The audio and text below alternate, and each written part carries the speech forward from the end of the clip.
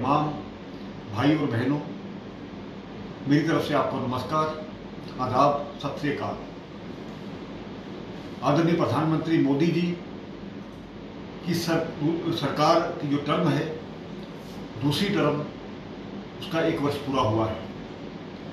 बहुत से महत्वपूर्ण कार्य भारत माता के लिए इस देश के लिए इस राष्ट्र के लिए उन्होंने किए हैं जो अपने आप में एक उदाहरण है। लोगों की जो अपेक्षाएँ थी उनसे, उनको पूरा करके दिखाया है। हालाँकि इस वर्ष विपरीत परिस्थितियाँ रही, लेकिन उसके बावजूद जो ऐतिहासिक फैसले लिए गए, वो अपने आप में बहुत बड़ी बात है। उस चीज़ को बताने के लिए पूरे भारत में अलग अलग जगह पर रैलियाँ हो रही हैं। चौदह तारीख, इतवार को माननीय राजनाथ सिंह जी, हमारे रक्षा मंत्री 11 बजे जम्मू कश्मीर के लोगों को संबोधित करेंगे। एनआरसी या धारा 370 पैंतीस से इस प्रकार के बहुत से महत्वपूर्ण फैसले लिए गए हैं।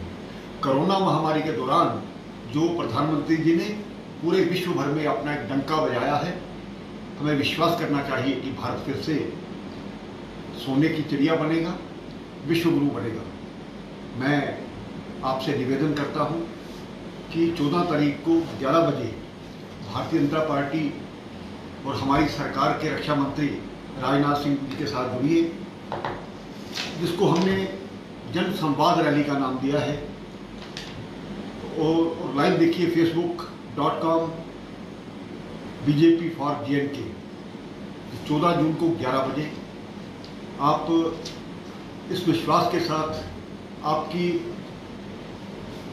कि आप पूरे सरकार के साथ खड़े हैं, इस देश के साथ खड़े हैं, भारत माता के साथ खड़े हैं तो इसलिए हम सब मिल करके प्रधानमंत्री जी ने जो काम किए हैं, उसकी सराहना भी करें, उसको आगे भी बढ़ाएँ, इन्हीं शब्दों के साथ आपका बहुत बहुत धन्यवाद।